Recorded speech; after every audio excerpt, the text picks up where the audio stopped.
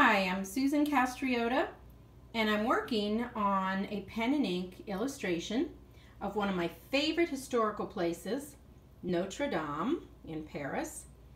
And I've been documenting my artist journey since I started this about two months ago.